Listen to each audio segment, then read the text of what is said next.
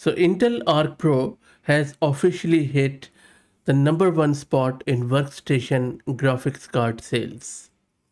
I stumbled upon this website and various other resellers which are mentioning that this card is now a best seller, even beating Nvidia's GPU cards. I also received a couple of emails from you guys specifying exactly the similar things. So in this video, I'm going to give you a real picture as what exactly is happening and if you should buy this GPU card or not. That is totally my opinion. Of course, you are free to do what you want. So let's get right into it. This is Fahd Mirza and I welcome you to the channel. Please like the video and subscribe and also consider becoming a member as that helps a lot.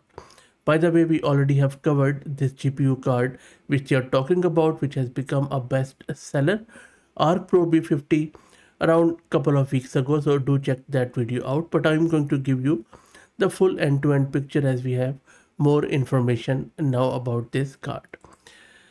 So as I said on various reseller websites this has become a bestseller. On paper that sounds like big news. Intel finally has a, a GPU in the professional space that's making headlines. But here is the thing, just because it's at the top of the workstation charts on few of the websites doesn't mean it actually a good alternative to our good friends at Nvidia or even AMD for that matter or some of the Huawei cards there, especially if you care about AI workloads. Let me break it down very quickly as why I am saying that. Look at this uh, spec sheet here. This is a small form factor dual slot card. The big selling point here is efficiency, only 70 watts of power, powered entirely by the PCIe slot, no external connector needed. That's fantastic for workstation with tight power budgets. But let's be real, 70 watts and 224 GB per second of bandwidth just aren't going to cut it if your goal is to have a serious AI training or even doing an inference with medium to large model. That simply won't work. Maybe sub 2 billion model might work, but I don't think so. Anything over that would be decent enough to be running locally.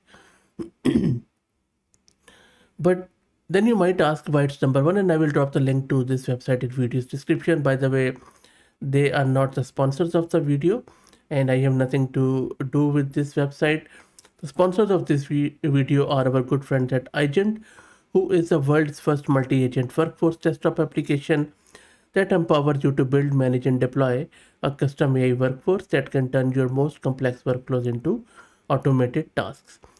So getting back to this card and why it is, um, why did it hit the number one in sales?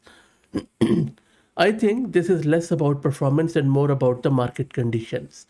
The B50 is cheap, readily available, and Intel is pushing hard into the workstation space. It's being adopted because it's affordable and efficient, not because it's outperforming NVIDIA or AMD in workloads that actually matter to AI developers. and let's not forget, we are talking about sales number in the workstation card category which is a much smaller market to mainstream consumer or data center GPUs. So number one doesn't mean hundreds of thousands of units. It could be only a few hundred sold and specific to only that website. So it is okay to be excited about alternatives to NVIDIA and I will be the first one to celebrate that because we need an affordable cheap and available AI but at the same time we must must not fall victim to something which is not entirely true in the whole spectrum of things.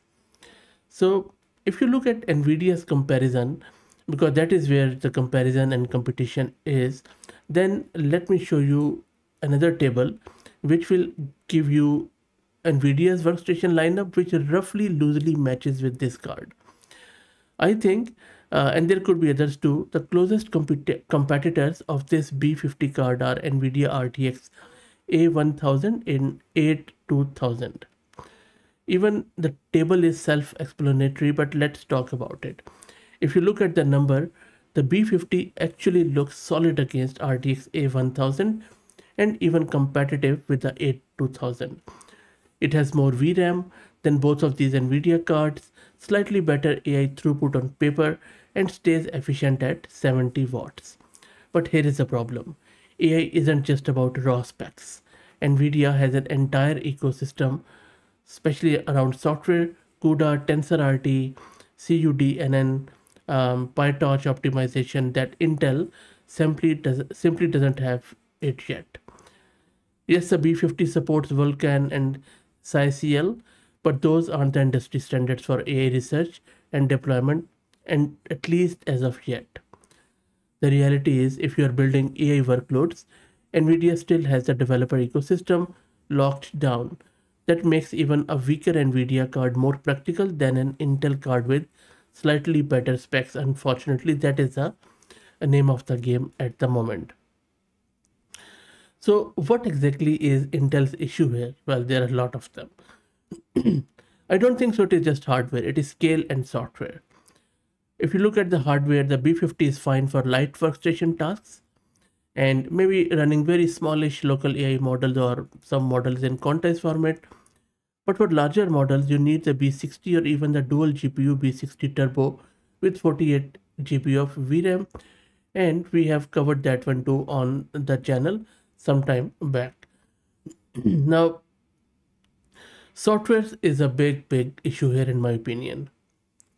Until Intel builds out a developer ecosystem that rivals CUDA, the GPU will always be a pain to integrate into AI workloads.